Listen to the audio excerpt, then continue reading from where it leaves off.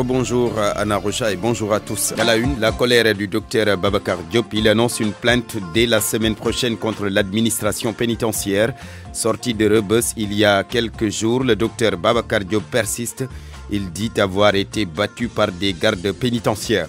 Les couacs et les impairs de la campagne de commercialisation de l'arachide à Ziguinchor, les travailleurs de la Sonacos ont arboré des brassards rouges pour dénoncer la concurrence déloyale des Chinois.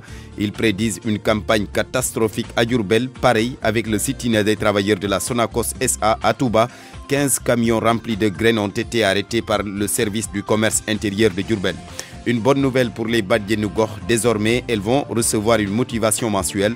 Jusque-là, elles travaillaient, dans le bénévolat. Le président de la République qui a fait l'annonce a même donné des instructions en ce sens au ministre de la Santé. Le sport Malal Diagne Junior, la presse du jour Mohamed Ali Mouba. Bienvenue, bon réveil à tous. Docteur Babacar Diop annonce une plainte contre l'administration pénitentiaire dès la semaine prochaine. L'ex-détenu de la prison de Rebus continue de soutenir qu'il a été violenté par des gardes lors de son séjour carcéral. Il réfute la thèse de l'administration pénitentiaire et réitère sa détermination à poursuivre le combat contre la hausse du coût de l'électricité. Gagnon.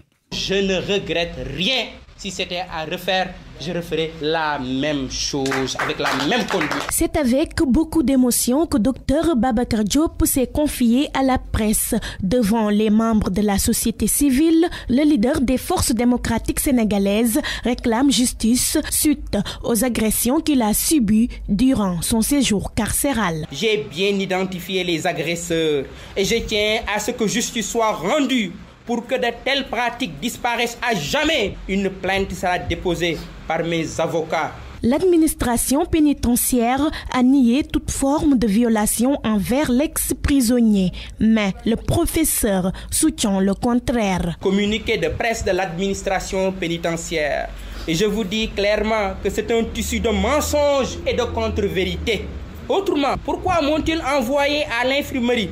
Si je n'étais pas roué de coups et blessé, en ce moment où je vous parle, j'ai été agressé par deux agents de l'administration pénitentiaire. J'ai été agressé de manière lâche et sauvage. Docteur Babacar Diop affirme être toujours engagé dans la lutte contre la hausse du coût de l'électricité. Nous invitons le peuple à descendre dans les rues de Dakar le vendredi 10 janvier prochain.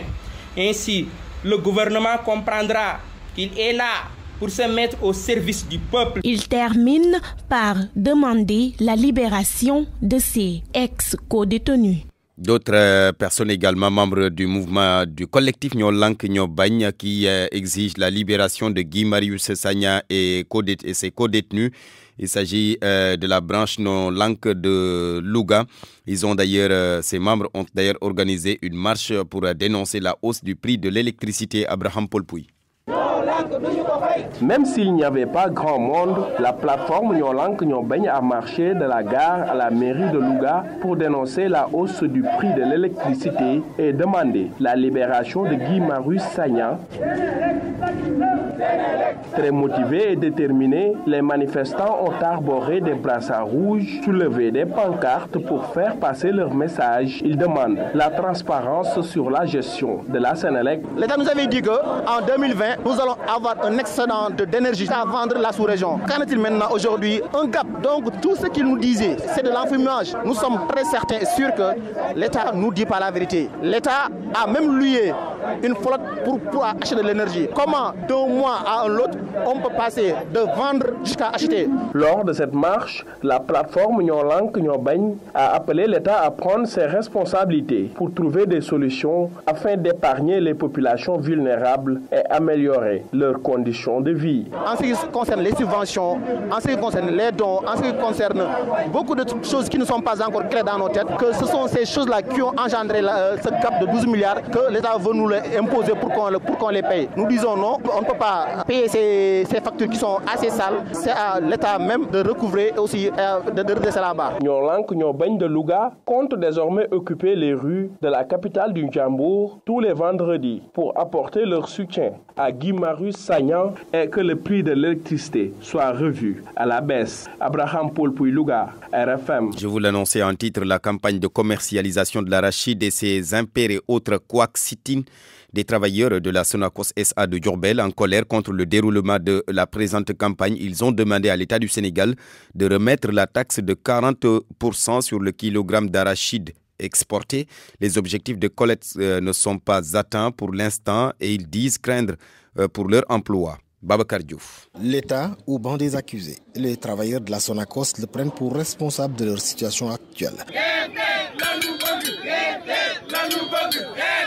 Le marché de l'arachide est déréglé, dénoncent ces leur porte-parole. L'État en arbitre devrait mettre une taxe dans un premier temps, bloquer ce qui a le peu de graines pour préserver des semences de bonne qualité, ensuite fournir des graines à l'industrie avant de songer à l'exportation. Mais il est inacceptable aujourd'hui que l'État donne des graines subventionnées, des engrais subventionnés, du matériel agricole subventionné et des gens qui viennent de je ne sais où viennent prendre, prendre ces graines, les amènent chez eux pour donner à leurs jeunes du travail et nous nous allons chemin. Ça, nous ne l'accepterons pas. Où les saisonniers recrutés en début de campagne risquent d'être remerciés. Aujourd'hui, la direction avait déjà recruté une centaine de jeunes pour faire les travaux de fin de campagne. La direction envisage aujourd'hui de donner des, des, préavis pour arrêter les contrats qu'ils ont. Non seulement les centaines, la centaine qui travaille va arrêter dans quelques jours, mais les 200 et quelques qui devraient venir ne viendront plus. Et ça, on, on ne pense même pas à ça. Si vous y ajoutez que la Sonacos l'année dernière a recruté, ils vont aller en chômage. Ce qu'ils n'entendent pas admettre, tous les moyens de lutte seront mis à contribution. C'est une action improvisée que nous avons tout juste pensé hier, mais ça ne va pas s'arrêter là. Parce qu'aujourd'hui, on va organiser des marches et tout ce qu'on devra faire pour, pour faire valoir nos droits, on va le faire dans les jours. À ce jour, la Sonacos Djourbel n'a pas encore collecté 500 tonnes d'arachide dans ses hangars, un tonnage qu'il bouclait en une demi-journée de travail.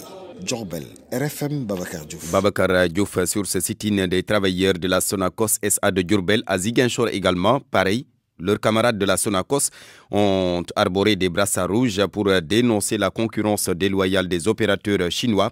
Ces agents désespérés prédisent une campagne catastrophique et même la fermeture de l'usine. Une marche est d'ailleurs prévue dans les prochains jours si l'État, bien sûr, ne réagit pas selon le secrétaire général des travailleurs de la Sonacos de Ziguinchor. Il s'appelle Samba Badji. Nous sommes mobilisés pour réagir à cette indifférence des, autorités euh, par rapport à laquelle la situation de la Sonacos se trouve. Nous, nous sommes aujourd'hui à trois semaines de réception. Aucun kilogramme d'arachide n'a atterri dans nos sécos. Ça, c'est une situation alarmante, dramatique, qui, expose l'ensemble du personnel à un chômage. Aujourd'hui, il n'est pas normal que la Sonaco, établissement industriel de Ziguinchor, seule usine de la région, des trois régions du Sud, se trouve comme ça, sans graines d'arachide, exposée à des risques de fermeture. Il n'est pas normal que la région ait un produit autant de qualité de graines, que toutes ces graines-là se retrouvent en Chine parce que simplement on veut les privilégier, parce que simplement on n'a rien fait pour que les usines soient, soient, soient, approvisionnées. Ça, nous le dénonçons parce que nous sommes aussi des Sénégalais en part entière. Les graines ont poussé au Sénégal, les graines ont poussé dans la région. Il n'est pas normal que les usines de la région n'en profitent pas. Il appartient aux autorités de trouver des solutions. Nous, on n'a pas de solution à proposer. On n'a qu'à exiger du travail. On veut, du travail. Et nous travaillons avec cette matière première-là. Il n'est pas normal que la matière première nous passe entre le doigt pour que d'autres en profitent. C'est ce que nous dénonçons, c'est ce que nous refusons. Il n'est pas question que je vois mes cousins, mes frères et sœurs ici aller au chômage parce que simplement, on a voulu privilégier les exportateurs. C'est pas normal. Ça aussi, nous, on est aussi sénégalais que ces exportateurs-là. La, colère de Samba Badji, le secrétaire général des travailleurs de la Sonacos de Ziguinchor, propos recueillis par Lamine Ba. 15 camions remplis de graines d'arachide arrêtés par le service du commerce intérieur de Djurbel.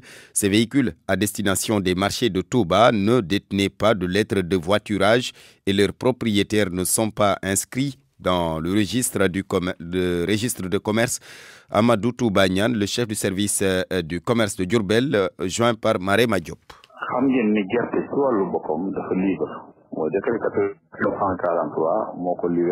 complètement avant donc de se déclarer euh, vendeur opérateur, on est d'abord commerçant. Cela, cela suppose qu'on soit inscrit au registre du commerce et du crédit immobilier. Ce qu'il faut signaler, c'est que le régime de la commercialisation de l'arachide est libre depuis l'avènement du décret 88 943 modifiant le décret 87-240 fixant les organisations de la commercialisation. Il y a un autre décret de 2015 portant libéralisation des exportations qui dit ceci. L'article 1er dit l'exportation de la ressource sous quelque nature ou forme que ce soit est libre. Donc la liberté, elle est là consacrée euh, textuellement. Maintenant, toute liberté demande un minimum d'organisation. nous avons vérifié à travers cette opération-là si ces gens-là sont inscrits au RPCM. Deuxièmement, des infractions aux règles de facturation ont été notées, puisque la facture reste quand même un élément d'entrée de la comptabilité. Ici, nous avons des cas où de, personnes détenteurs de lettres de voiture appartenant à des usines, alors qu'ils ne vont pas vers ces usines-là. Ceci représente quand même des cas de, de fraude manifestée que nous avons eu à, connaître. Voilà les précisions de Amadou Toubanyan, le chef du service du commerce de Durbel, sur l'affaire de ces 15 camions remplis de graines d'arachide arrêtés par le service du commerce intérieur de Durbel. 7h12, bon réveil, une courte pause et la suite. RFM, la radio de toute l'actualité. Lutte contre l'insalubrité à Dakar. Le maire de la capitale prône l'emprisonnement contre les auteurs. Selon Soham El Vardini, la sensibilisation n'a rien donné et donc il faut tout simplement changer de fusil d'épaule. Euh, propos tenus hier après-midi lors du lancement du projet Dakar Ville propre, 500 millions de francs CFA vont être débloqués en 2020. Famadion. Le maire de Dakar est formel. Si on veut que Dakar soit une ville propre, il faudra sanctionner et qui a emprisonné Soham El Wardini, maire de la ville de Dakar. La sanction maintenant, je crois qu'on doit commencer à sanctionner. Parce que même cette sensibilisation qu'on est en train de faire, elle ne servira à rien. Tant qu'il n'y a pas une sanction où on met des amendes ou bien où on vous retient à la police, les gens vont continuer à faire n'importe quoi dans la Dakar Ville Propre, un projet d'acteurs culturels. Accompagné par la mairie, ils ont fait de la propreté de la capitale un sacerdoce. Et Titi Yoro, secrétaire général du plan d'action des acteurs culturels de la ville de Dakar. Nous nous sommes dit que, étant habitant cette ville, Dakar, ça serait mieux pour nous de voir, prendre des perspectives pour réaliser la salubrité totale de la ville. Parce que nous, nous avons, nous avons toujours su que Dakar a été un peu sale, pas sorti sur le plan international et tout ça, ça se remarque vite. Donc c'est de notre devoir en tant qu'acteur culturel et aussi ambassadeur de la propreté et leader d'opinion et leader focal de se mettre dans ce travail pour essayer de faire développer la salubrité dans cette ville. Nettoyer, planter, reverdir, aménager Dakar, Soham El Wardini dit en faire une priorité. 500 millions de francs CFA sont prévus par la municipalité qui compte sur le soutien de l'État plus bref, 152 personnes sont mortes en 2019 à Tambacounda à cause du paludisme. La maladie résiste même sur le plan national. Dans le cadre de la croisade à l'horizon 2030, le Sénégal, le Mali et la Guinée-Conakry mènent une lutte commune. Grève annoncée du cadre unitaire des syndicats de la santé pour la justice sociale. Le ministre de la Santé et de l'Action sociale rejette le motif du mouvement d'humeur. Pour lui, on ne peut aller en grève parce que tout simplement lui-même, le ministre, n'a pas répondu au euh, courrier de ces syndicalistes. Et puis, je vous l'annonçais en titre, les Badjenougor vont désormais recevoir une motivation mensuelle. Annonce du président de la République, Macky Sall, qui a instruit le ministre de la Santé et de l'Action sociale d'étudier dans les plus brefs délais le système. C'est pour améliorer leurs conditions de vie et de travail. À cette occasion, le chef de l'État a demandé l'enrôlement de 8000 Badjenougor dans la CMU, la couverture maladie universelle en 2020. C'était lors d'un forum national dédié à ces femmes Badjenougor. Abdoulaye Diop. Tout travail bien fait mérite récompense, dit-on. Le président de la République a décidé désormais de motiver toutes les Badjanougor Macky Sall. C'est pourquoi je demande au ministre de la Santé et de l'Action sociale de renforcer leurs moyens et positionnement. Il s'agira très concrètement, Monsieur le ministre, d'étudier un système de motivation dans les meilleurs délais, me donner les conclusions de l'étude en vue de la motivation. Une décision appréciée par les concernés. Fatou Badian, présidente régionale des Badjanougor de Thiès. Je suis très contente. D'habitude, nous travaillons sans motivation. Donc, s'il le fait, nous ne pouvons que nous en réjouir et nous souhaitons que cela soit pérennisé. Depuis 1983, c'est la première fois que j'entends ça. Pour mieux améliorer leurs conditions de vie, 8000 Badjanogor vont être enrôlés dans les mutuelles de santé. Je décide de renforcer les ressources allouées au programme Badjanogor. À cet effet, le ministre de la Santé et de l'Action sociale, en relation avec le ministre du Développement communautaire, de l'équité sociale et territoriale, je vous demande de prendre, à partir de 2020, de prendre en charge l'enrôlement des 8000 Badjanogor. Le Forum national des Badjanogor a réuni toutes les 14 régions du Sénégal. Elles ont plaidé pour plus d'accompagnement et de moyens. Le sourire pour près de 90 enfants aux parcelles Zasseni, l'association Vision Sociale Sénégal dirigée par notre consoeur Yaham Kiam de la RTS, veut montrer à ces dizaines d'orphelins qu'ils ont le droit à une affection. Ces tout petits vont recevoir ce samedi dans l'après-midi des vêtements, jouets et autres euh, objets en présence de la marraine Aïda Koulibaly-Dour, rencontre prévue à l'orphelinat des parcelles Zasseni. Les explications de Yaham Kiam au téléphone avec Joe Maron. On a euh, commencé par les enfants. Et pourquoi euh, euh, l'orphelinat des Parcelles Assainies? Parce que tout simplement, il y a une dame qui se débrouille, qui s'appelle Sorna Awasajo, et qui a en charge 90 enfants. Alors nous avons déjà visité justement cet orphelinat et nous avons jugé nécessaire vraiment de venir en aide à cette dame et venir en aide à ses enfants. Alors c'est pour ça que nous avons choisi comme marraine Madame Aïda Koulibaly Nour, alors qui est la marraine justement de notre association Vision 2S, qui elle euh, vraiment fait tout ce qu'elle peut pour aider ses enfants, tout ce qu'elle peut pour aider Vision 2S. Nous allons d'abord aider les orphelinats, nous allons aider les enfants malades, nous allons aider les femmes qui en ont besoin. Euh, nous allons aider les jeunes qui en auront besoin. Donc, euh, c'est vraiment une toute première action avec euh, notre marraine.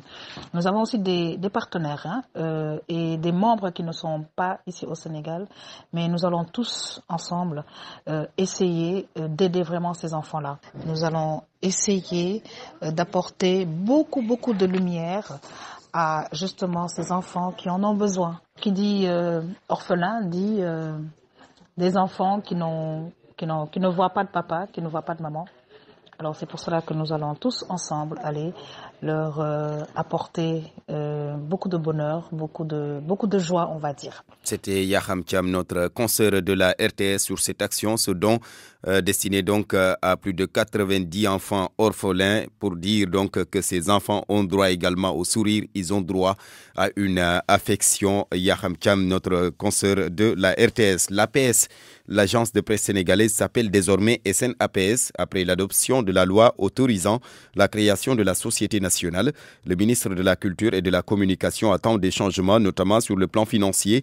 Le secrétaire général du Sympix approuve cette réforme. Des parlementaires qui ont voté la loi demandent l'indépendance de cet organe national. Omar Mbou a assisté à la plénière, c'était hier après-midi. L'histoire retiendra cette date du 27 décembre 2019. L'agence de presse sénégalaise change de statut et devient la SNAPS. Ce n'est pas simplement le nom qui va changer, rassure Abdoulaye Diop, ministre de la Culture et de la Communication. Plus de moyens. Aujourd'hui, nous avons, pour l'ensemble des réformes, nous avons un certain nombre de dispositions financières qui serviront et d'organisations qui serviront. On doit être un peu plus présent au-delà des régions où nous sommes présents. Il faut être plus outillé pour être présent au niveau de tous les départements dans un premier. Le député Mamoudou Diop décroît, comme beaucoup de ses collègues, veulent que cet organe soit démocrate, c'est-à-dire se démarque de la maison mère, la radio-télévision sénégalaise, qui selon lui est dans l'officine du gouvernement. Si vous venez d'un autre pays, vous restez ici, si vous ne regardez pas les autres chaînes de télé, vous avez l'impression qu'au Sénégal, c'est le monopartisme, et, ça, quand même, ça fait, c'est très gênant. J'espère que ces choses-là vont changer. Le secrétaire général du Sympix parle d'un ouf de soulagement. Bamba Kassé. Voir aujourd'hui, euh, après que le Conseil des ministres ait transmis le projet de loi au mois de septembre, il ne faut pas l'oublier, voir aujourd'hui les députés à la suite donc euh, de l'intercommission voter à l'unanimité euh, cette loi qui autorise le président de la République désormais à créer euh, nouvelle entité APS, c'est un point de satisfaction. À l'unanimité, les députés ont adopté la loi autorisant la création de la Société nationale APS qui a 60 ans cette année. Direction Medina Sherif. Medina Sherif, une commune quasiment dans le noir. Sur 62 villages, un seul est électrifié. Les habitants dénoncent un manque de considération de la part des autorités étatiques. Cette localité du département de Kolda souffre aussi de son enclavement. Situation décrite lors de la réunion du débat d'orientation du budget de la commune. Abdoulaye Diallo.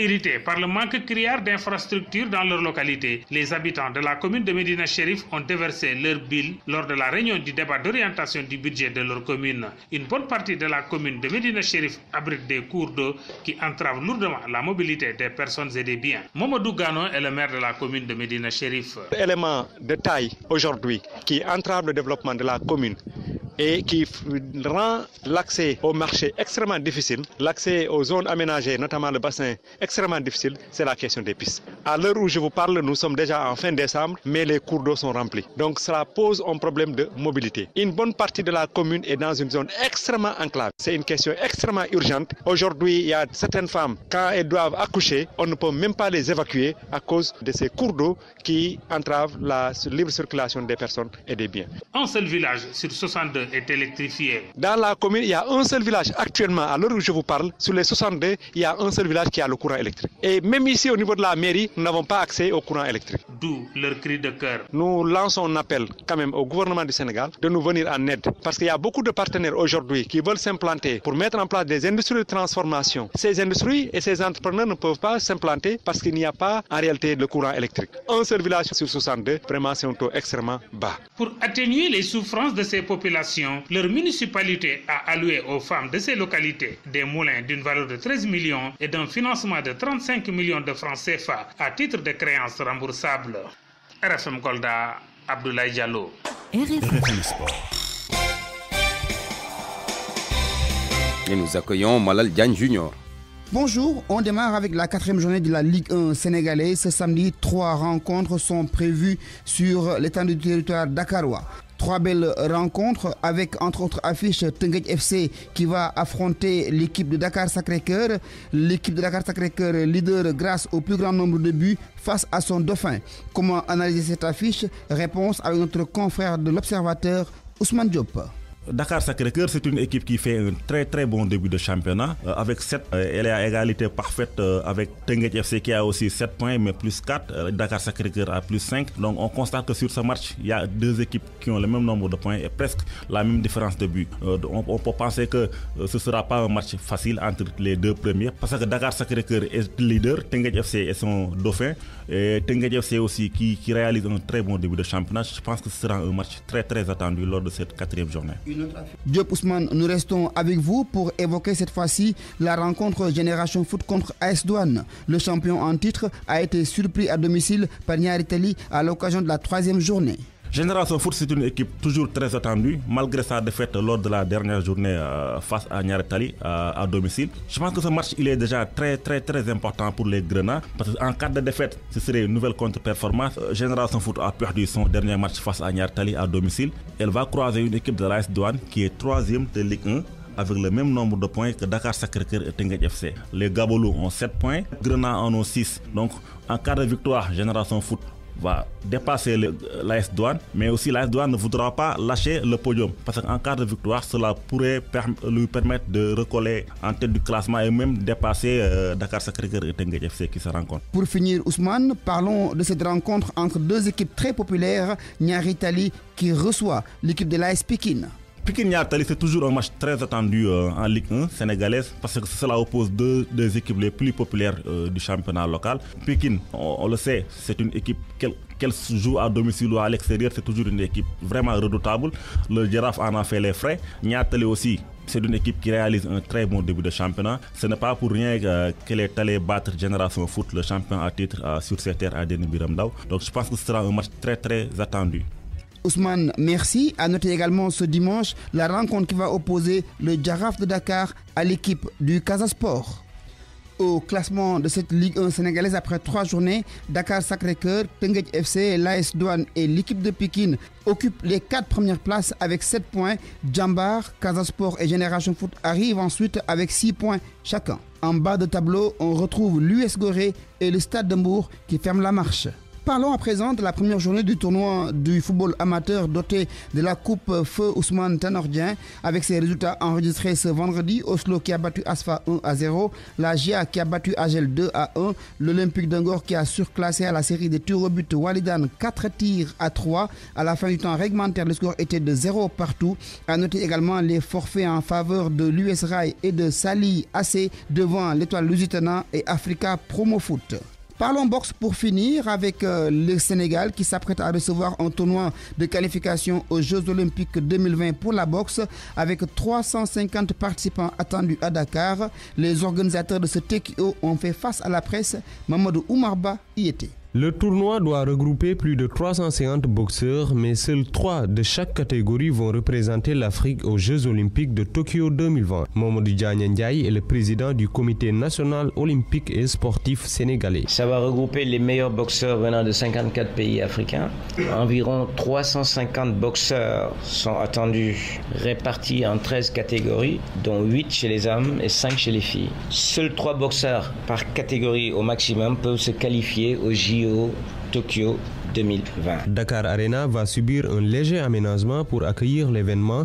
Ibrahim Wad, coordonnateur du comité d'organisation. Moins de 5 jours avant les compétitions, il y aura un aménagement spécial qui va être fait. L'aménagement, c'est quoi? C'est installer le matériel de boxe qui est en cours de chemin, qui est en train d'arriver, qui est embarqué. Le président a donné les instructions nécessaires pour que les services du comité olympique le, reçoivent à temps et ce sera fait. Le tournoi qualificatif démarre le 20 février et dès le 29, l'Afrique va connaître les boxeurs qui vont la représenter aux Jeux olympiques de Tokyo en juillet 2020. Voilà, merci. C'était tout pour la page des sports. RFM, la presse du jour. Mohamed Ali Moubab dans ce studio. Bonjour Ali Moubab. Bonjour Batlemi, bonjour à tous. C'est parti pour la revue de presse. En écoutant ce matin Abdul Mbaye, c'est à se demander si le leader de Acte ne jouait pas les oiseaux de mauvais augure, tant il dresse un bilan des plus calamiteux pour le régime du président Macky Sall, tout en prédisant bien sûr le pire pour l'année 2020 qui s'annonce. L'homme est à la une d'une bonne partie de la presse euh, ce matin. Il faisait face à la presse hier, surtout les dossiers chauds en 2019. Entendez la hausse du prix de l'électricité, la campagne arachidière, le scandale du pétrole et du gaz, ces cartons rouges, comme le signal à manchette le doyen des euh, journaux privés euh, du Sénégal Sud Quotidien. L'ex-premier ministre répertorie mensonge et scandale du maquis Bichron euh, Grand Place. Abdul Anhoy crédite Source A sur la base d'une de ses prédictions les plus sinistres du jour. L'année 2020, dit-il, sera une année de tension économique et sociale.